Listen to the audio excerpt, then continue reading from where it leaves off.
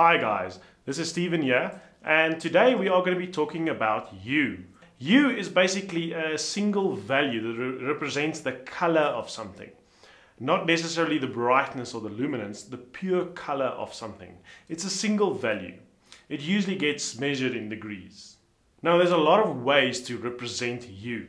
The one of the ways that I like the most is using a color wheel because it gives you the impression that Hue is basically something that starts at a point, ends at a point, but it is linked, so it goes in a circle.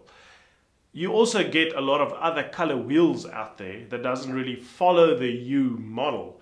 But the hue model that I like best, or the color wheel that represents hue the most accurately, that I think is the one with red on top, and then at 120 degree angles we have green, and at 240 degree angles we have blue. So that gives us the whole circle that goes from red, green and blue, your RGB. So it follows that same sequence. Now one of the very interesting things about hue is that you follow science. And the science of light is all, or the color of light is all linked to the frequency of the light. Where your lowest level frequency of light is red, which is right on top. And then as your frequency of light increases, it'll go red, orange, yellow, green, and then obviously blue, and then it goes to your um, purples and your magentas back to red. Now, as we know, technically your magentas doesn't really exist because it's not really an actual frequency of light, but obviously we can still see it. Our mind makes that up. So that's why they include it in the color wheel that is the hue color wheel. Now, a very another very interesting thing is obviously because it follows science, it actually means that when you look at a rainbow, you will see all the colors that represent hue, always starting with red on top. So that's why I like the whole red on top idea. Um, and interestingly enough, also if you look at a rainbow, there is no pink. Uh, once again, proving to us that pink doesn't really exist. It's purely a fictional color made up by our minds. And also the nice thing about hue is that or I don't think it's technically hue, I think it's RGB. RGB follows hue. So it's in that order, RGB. It goes as the angle increases, it is RG and B. Same with CMYK. Obviously K is just a shortcut, so we'll just remove the K. And we sit with CMY. CMY is obviously the whole circle just sort of flipped around. So you would start at the bottom, which is your cyan, your magenta, and your yellow. So it follows the same order. So it actually all makes a lot of sense. And also if you look at the opposites of color, if you ever uh, work with color contrast, if you want to make an image in Photoshop pop a bit, you need color contrast. And in order to do color contrast, you need the exact opposite of a certain color. And if you use the hue color wheel, that also makes sense. So the opposite of um, red would be cyan. It's on the opposite end of the wheel. The opposite of yellow would be blue. It's on the opposite end of the wheel. So it's very easy to get the opposite of a color. You just find the color on the wheel and then you look at exactly the other side of the wheel. That would be your op opposite color. And with that, you can create very interesting and very um, shocking and very popping images that really like grabs your attention. Now in most of the color wheels out there, it works in degrees. So your degrees is on top and it's obviously an angle in measured in degrees. So degrees is on top and it goes to 90 degrees, 180 degrees, 270 degrees and back to 360 degrees. Now, when computers came along, obviously we wanted to save this value somewhere in a digital format. Now, the most convenient way to save it would be in a byte, which is sort of nicely truncated. It's almost exactly the right size we need except a byte falls a little bit short, uh, byte being 8 bits. So obviously you hear 8-bit color a lot. So what would happen, a byte only goes from 0 to 255. That's the only range a byte can cover. So if you want anything more than that, you kind of have to use 2 bytes, which is double the space. So what they do is instead of saying, okay, let's use 0 to 255, it's not a nice value to use because it's not very divisible, especially when you divide, divide it by 3, which is where your, your main colors lie, your R, your G, and your B. If you divide it by 3, you get to like a weird number. And then they decided to let's make it rather 0 to 240. because that means every 800 slots or 800 points you get a main color. And then it's very easy to calculate main colors as well as the in-between colors. So that means R will be 0, green would be 80, and blue would be 160. And thus you get your full circle that goes to 240. Obviously every 40 degrees would be your yellow and your uh, cyan and magenta, which actually makes it very easy to use. So that's why some of the models that you get works from 0 to 240 and other models works from 0 to 260.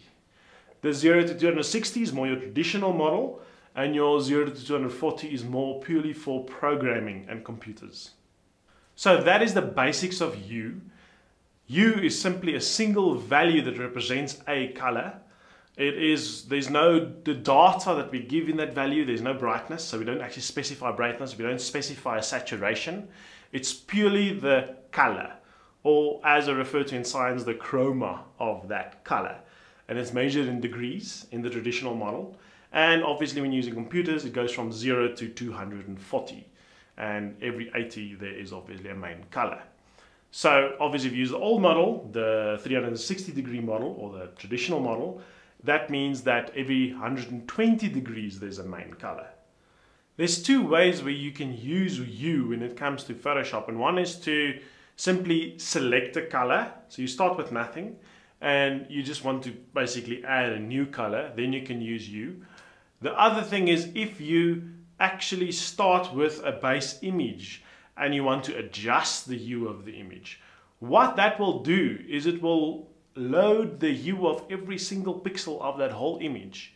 And then whatever hue you select to judge you, you select, whatever hue value you select to adjust it with, it will take all those hue values and adjust it. So the whole image will shift around the um, hue wheel. It obviously depends on where every single pixel sits in the hue wheel. So if a pixel sits at a certain location and you set the adjust the wheel by 10, it, that pixel will adjust it by 10 degrees. The pixel right next to it might sit at another location in the hue wheel and you tell it to adjust it also by obviously 10 degrees so it will be adjusted by 10 degrees. So that way your whole image will sort of shift and the colors will change. At 180 degrees you will get a full negative of the image. But this is purely a color negative. It's not a luminance or brightness negative. So it's not going to look exactly like a negative if you would have taken an image, image and make it a negative but the colors will be a negative. So it's sort of halfway to a negative. Saturation is how true the color is or how far the color is away from gray.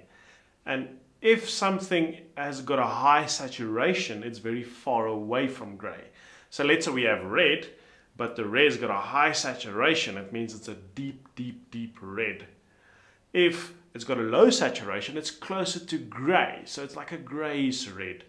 And that's basically what saturation is. It's fairly straightforward.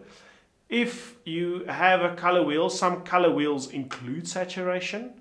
Some color wheels, you have the wheel and in the middle you actually have gray. So as you have the colors, it sort of fades to gray. And then where your color sits around the wheel is your hue and how far it sits from the center is your saturation. The last one obviously is the brightness. The brighter uh, uh, a value is, the closer it is to white, and the darker it is, the closer it is to black. So with those three, with hue, saturation, and brightness, you can make up any color that exists. First of all is the color, which is the hue, that's the base, the raw actual color. Then how far it is from the center, the saturation, how true that color is. And then lastly, how bright it is. Is it closer to white or is it a very dark color? And with that, you can use any color you want. And that is called hue saturation or brightness. So now what I'm going to do is I'm going to go to the computer and I'm going to show you how to use this information.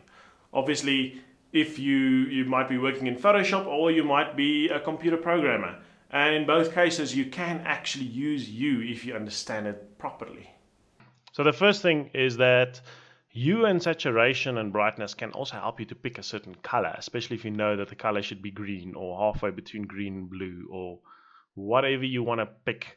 So obviously in Photoshop, you just click your color picker, you just click on the color there, and then you'll see that the three values that is displayed here, HSB, is your hue, saturation, and brightness. Now, your hue, which is the topmost one, that is determined purely by the slider here. So you can see as I slide it, the only thing that actually changes is your hue. What you actually see here is your true color with a 100% saturation and 100% brightness. That's actually the color you see in this bar here. It is upside down, whereas the zero degrees is at the bottom, and as you move up, degrees increases. So it's basically an upside down rainbow.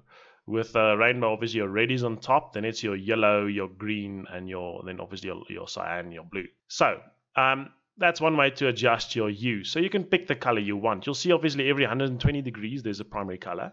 So that would be red, which is at zero because we start counting at zero. And at 120 degrees, if I type 120 in there, I would get a full green. If I add another 120 uh, to 40, you would get blue. So that's your RGB. You obviously get your in-between colors, which is a CMYK. Um, they obviously, because they're exactly the opposite, they don't start at zero, they start at 180, which is the other side of the circle. So um, that's where your CMYK starts. So your C, which is your cyan, would start at 180. You obviously also add 120, which will put you at 300, which is your M, your magenta. And then obviously it goes around because it's a circle. It'll go back to 60 degrees, which is your yellow. So yeah, you can see also your CMY represented in this channel here.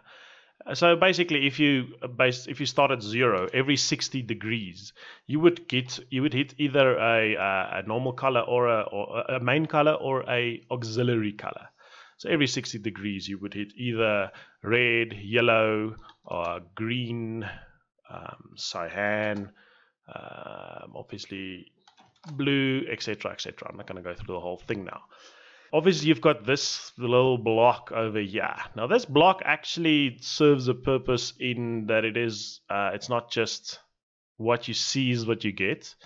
The horizontal or the left and right axis of this block is your saturation, which is that value there. So if you are on the left side, your saturation is on zero, which is gray, as I discussed earlier. If your saturation is on 100, then you get the full color, the true blue. So that's your saturation. It's basically just a, a gradient between your color and gray. And then obviously lastly is your brightness. Your brightness is the up down side. So if you go up and down, you'll see that it'll actually change only your brightness. Nothing else will change. So your brightness being a scale basically between um, your color and black. So the one is sort of between your color and white, and the other one's between your color and black, which is your brightness and your saturation. You can obviously change it here, and it'll give you different representations. So if you choose saturation here, scale here is your saturation, and your left and right is then your hue, and your up and down is your brightness. So you can switch between these values and see what you get. It's very interesting. Um, obviously, whatever value you select here, if you select brightness here, it means that the scale here is your brightness. If you select the hue here, this scale here is your hue. So whatever you select here is basically the scale. You can even select your hue here, go to, let's say, green. Um, let's get a full green. Let's type in 120. And then if you switch to um, saturation, it still retains the same color. So your hue stays there. Then you can adjust your saturation. You can decide how much green you want maybe let's say like 80% green and then you can switch to brightness and you can adjust purely the brightness of that green so um, yeah just another way to help you pick a certain color and usually if you want to make uh, manipulations to an image so you have an image and you just want to manipulate it you usually use uh, HSL, hue, saturation, and luminance, because you're adjusting something that already exists. Now, in this image, you'll see the grass on the side here. It's not a very deep green, and also it was a little bit dry, so it's not there's a lot of yellow as well, and I want to make that more green. So what I can do is I can just switch to the um, HSL sliders here. Now remember I said HSL is what you used when you actually are changing an image And HSB is used when you are picking a color. So you start with nothing and you are simply setting a color. Now, if we go to the HSL, all of these that you see here, they basically are sliders based on a certain hue range. So you'll see this is basically the colors of a rainbow. If you look in the middle down, red, orange, yellow, green, uh, cyan, blue, um, purple, and magenta. So these are sort of the colors of the rainbow. Obviously, we don't have magenta because that doesn't exist technically. Um, these are this is actually the exactly the rainbow as you'll see it, and it doesn't matter which tab you go to, you see those colors. So if I do a, a, a, slider change here, it will look at that color that is in the image and just change the hue of that specific color. Now what I like to do here is with the hue selected, I can actually uh, change the green a little bit. I just increase it like a little bit and you'll see the grass will actually become more green. If I push, push it the other way, it'll be more yellow. So I like to just push it slightly and then if your image doesn't contain a lot of yellows that are not that's not grass, like in this image, all the yellows in the image pretty much is grass. So I can even increase the yellow one and make that more green as well. So you'll see if I if I obviously take it to the extremes, you can see it changes the color of the grass here at the back and the spot over here. So I'll just boost it a little bit and then you get nice green grass um, around obviously everywhere where there is any vegetation. It is just nice and green. It just looks like it was taken at a different season. What, I, what you can also do is to make the green a little bit more um, obviously poppy is you can increase the saturation of the greens a little bit. And sometimes we can even do it with the yellows so that's also a little bit popped.